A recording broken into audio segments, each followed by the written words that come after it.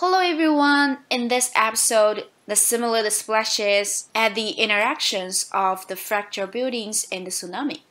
The interactions on the left are basically invisible, so I'll skip them and mainly focus on the interactions on the right. Without further ado, let's get started. Drop a geo, import the fracture buildings, it's not necessary to involve all the buildings on the right. A few are fine here. When it comes to how many simulation to be done is proper, we need to check out the current rendering effect and find out which interactions are exposed. Then there are our target. For example, the interaction of this building with the tsunami is not well covered, so one more simulation is necessary here. Similarly, around this building, there are no splashes that can cover the intersection well either. As to these two buildings, there's no such problem. So we skip them. After measurement, I choose these buildings to work on. Alright, let's start off with the source creation we need to extract the intersection areas as before. The polygon distribution of the fractured building is uneven, so convert it to VDB. Then two polygons again to get an even distribution of the polygons. Next, we import the tsunami mesh. Drop a color node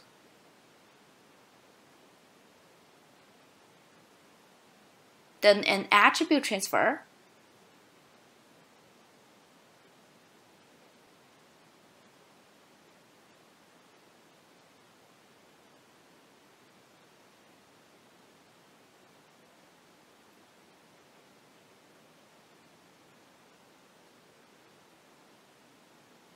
A small distance threshold is fine, because the splashes at the intersection needn't be as large as those we made before.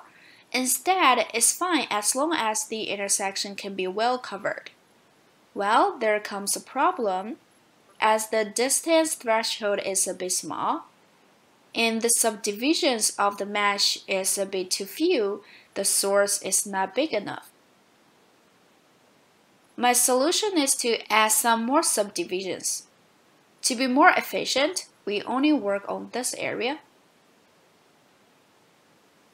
Fix the fracture building at the first frame.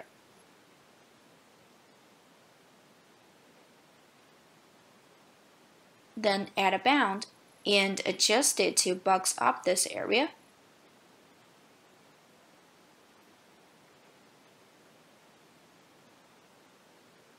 We can make it larger as we may use it in the later simulation. Then extract the tsunami mesh in this area. And subdivide it.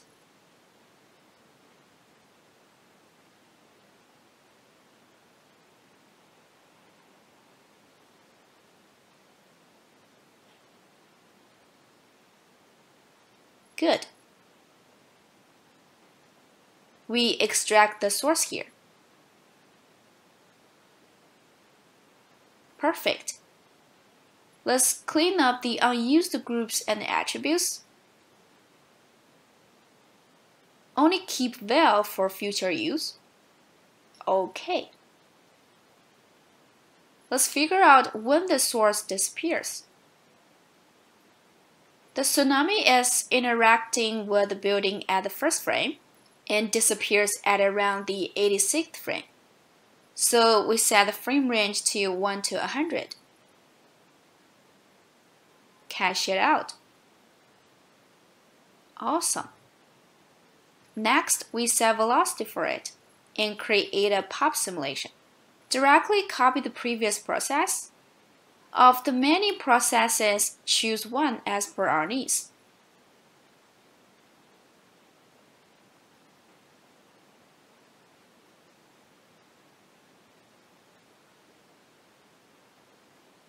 Let's check it out.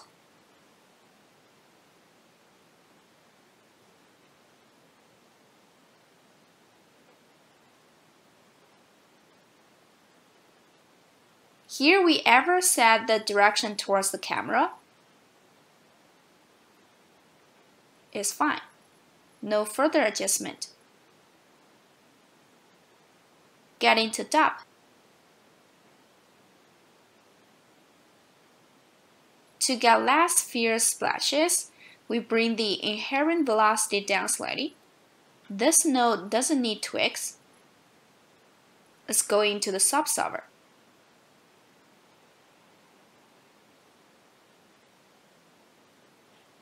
Delete this range as it's far away from the current simulation. Keep this node as it is. Collision objects here. The two boxes in the foreground are useless now, so delete them. Replace this collision object uh, with this fracture building. Besides, it's just a source, so no need to make it collide with the tsunami. Let's come to the file cache. Set the frame range to 1 to 150. Toggle off the pre-render script for the moment. We will set it later after finishing this simulation. Let's cache it out. Awesome.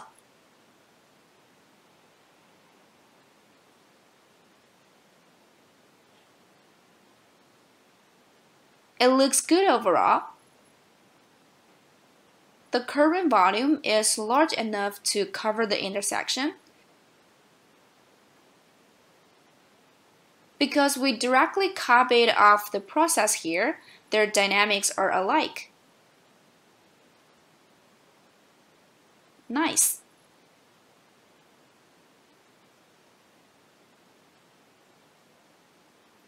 Next, we're going to convert the pop to VDB as the source of white water.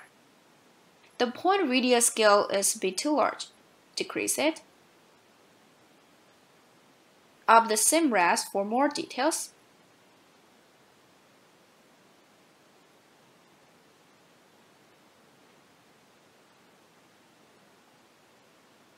Speed range here.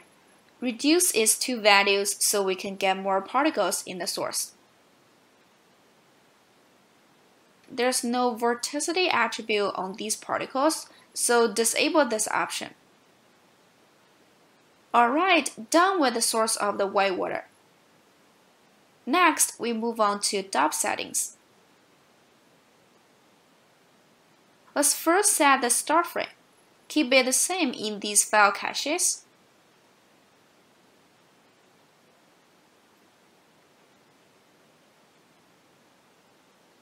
Then build the basic process of white water simulation. Set up the path of the emission source and the volume source. In terms of some optimization settings, we can directly copy them from the previous process. One is to optimize out the particles inside the simulation based on depth. Another is to optimize the particles inside the tsunami.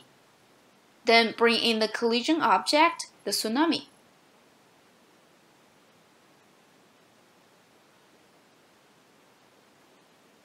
Set the bounce of the ground to zero. Let's get down to the whitewater solver. Referring to the previous settings, we set a slightly lower SIMRES. Increase the velocity multiplier a bit to get a relatively larger spray volume. Then the lifespan when colliding with the tsunami, it's too long for the spray to stay on the surface for 5 seconds. So let's set it to 3. 90 frames are enough. As for the limits, get the fluid box in the uh, bound one here linked.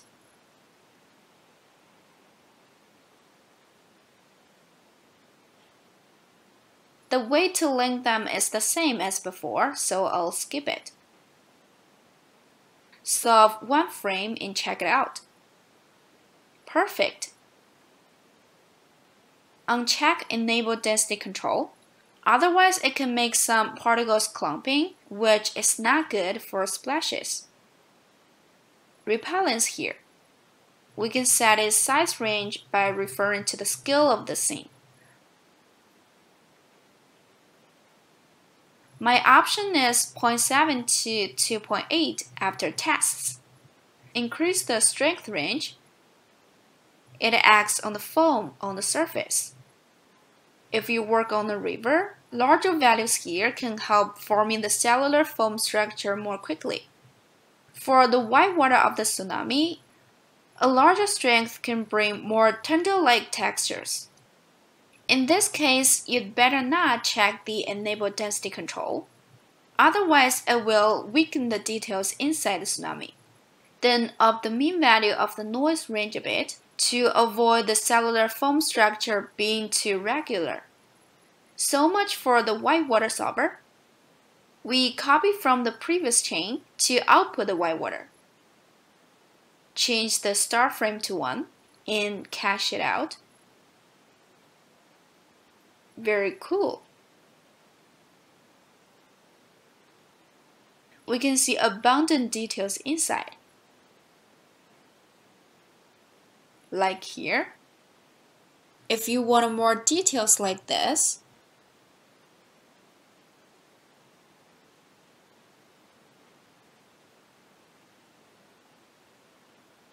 you can increase the base advection strength over here. We have explained it in detail before, so I won't repeat that here. I think it's good. Let's make a flipbook. Okay, done. The whitewater simulation works well with the building. You probably feel it lacks some power. However, we need to be clear that its role is only to integrate the building with the tsunami. Just like what we mentioned before, every simulation has its own role. If you're not sure if it's good enough, you can combine other simulations to figure it out.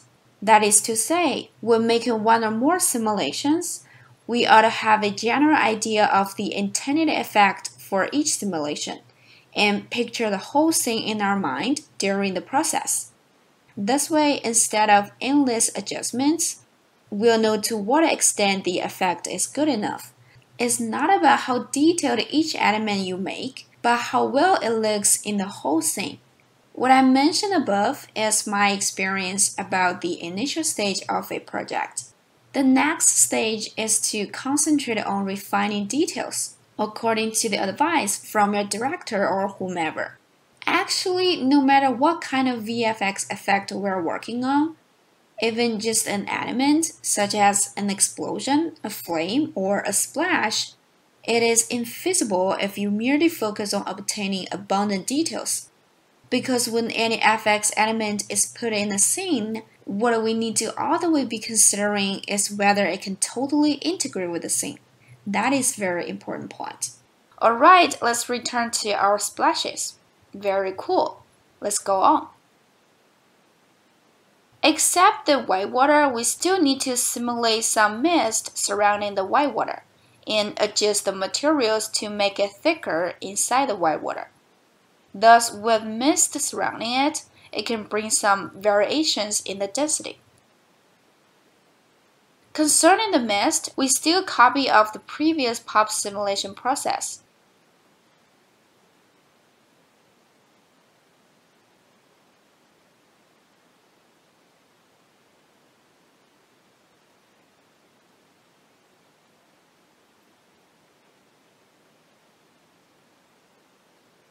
Set the start frame to 1.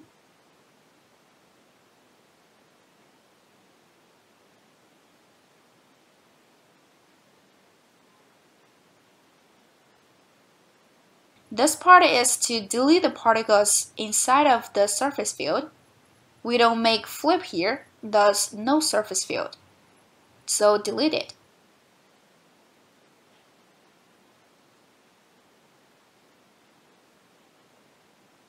Remove the force here. It's fine as long as the simulation can cover the intersections well. Then we tweak the file cache Okay, let's cache it.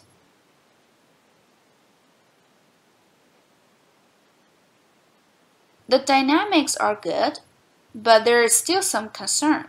One is that the quantity of particles is a little less. Another is that volume of the white water is a little small. Just split the white water. You see, it's mostly swallowed by the white water. Almost useless here.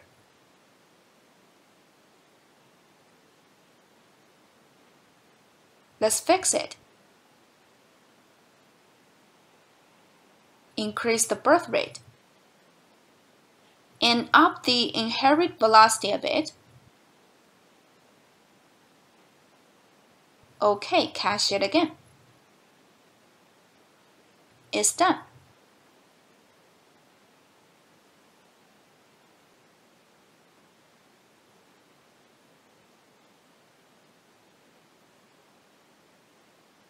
Compared with the previous simulation, this one is greater in particle quantity and volume. Perfect. The rest part of the simulation is the rendering settings. I'm gonna skip it because we have demonstrated that. Let's move on to this building. It's not a standard model and some specific operations are needed here. So let's handle it first.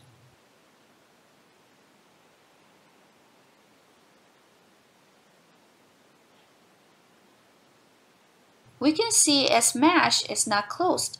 Definitely it will go wrong when converted to VDB. So it will be good as long as we cover its bottom. The solution is very simple. As the lower part of this building is under the tsunami, many ways will do. My approach is to get it span first.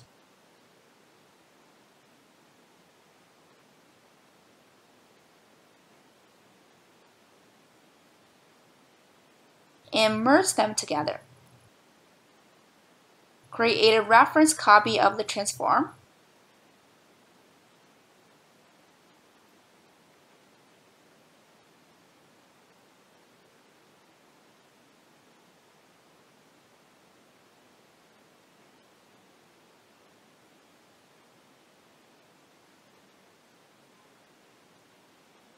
Then the converted VDB looks good now.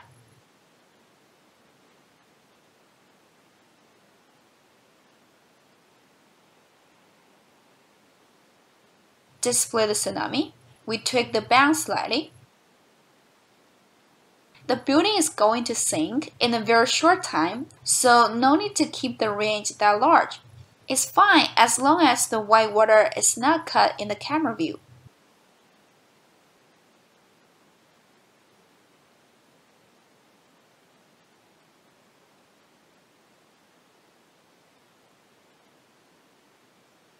The source is a bit small. Let's expand it slightly.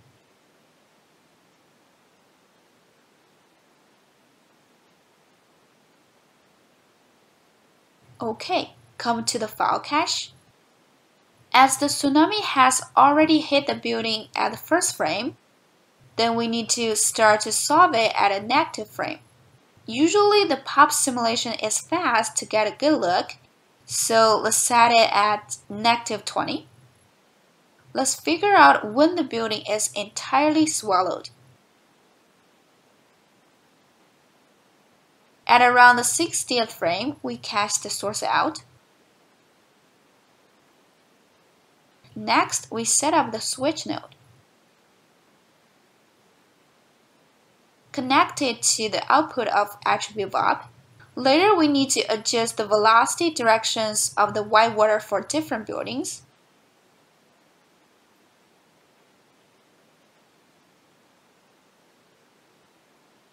Rename it. Come to the Python settings here.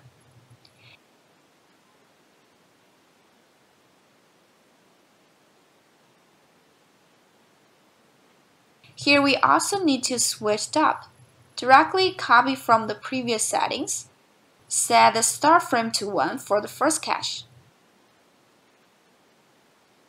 And bring in the path of the dot. OK, hit accept. One down, one to go. Let's copy the Python script and paste it in the second one. Change 0 to 1 and set the start frame of dot to, let's see, negative 20. Set the start frame here to negative 20 as well. Ticket. Let's cache it out to see how it comes. One problem here. Basically, the particles are moving forward due to the velocity direction of the source plus the sinking building.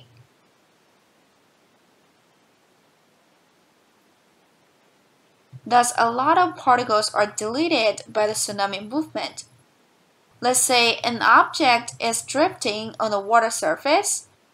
Its ups and downs will give birth to some splashes, so I'm gonna set a slightly upward velocity.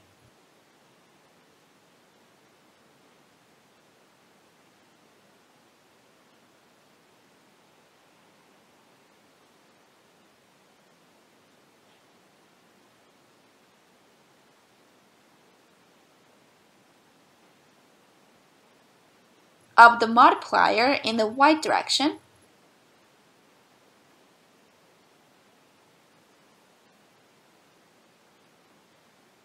Meanwhile, I'd like to make the outline of the velocity lines vary more obviously. Let's increase the attenuation to differ the velocities greatly. Next, we set an automatic switch of the collision object in the fluid box. Create a reference copy of this switch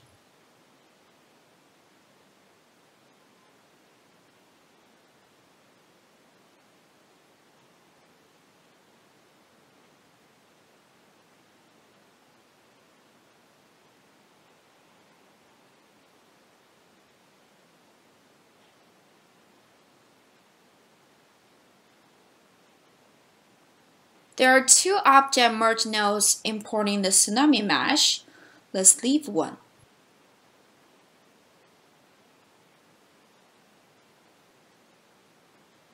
Okay, let's cache it.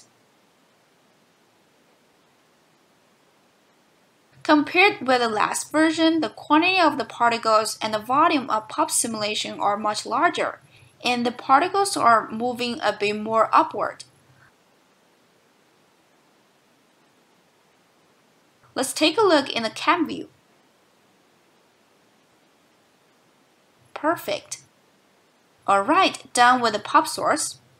The next step is the white water and the mist simulation.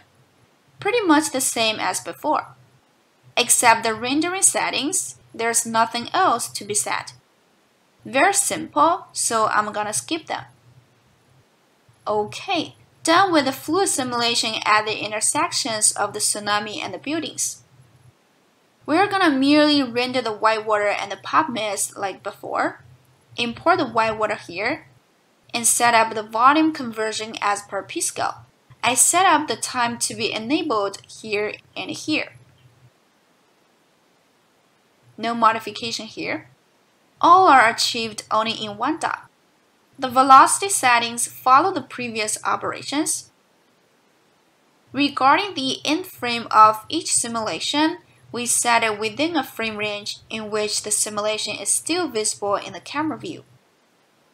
Say the white water is blocked by the buildings or other simulations now, then it's not necessary to cache all the frames out. Here I cache 120 frames only,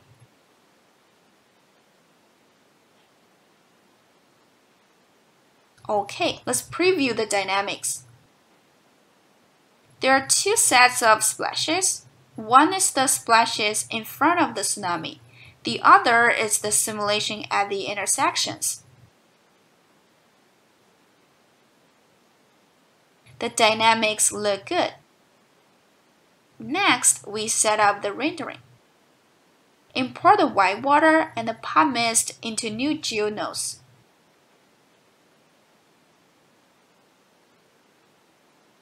As to the materials, we apply the previous ones.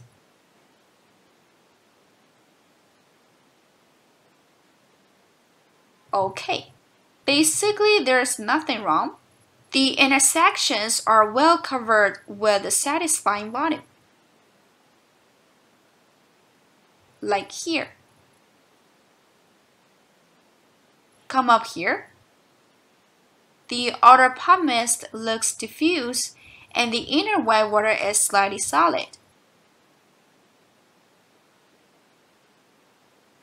As to the splashes here, there's something wrong with its materials.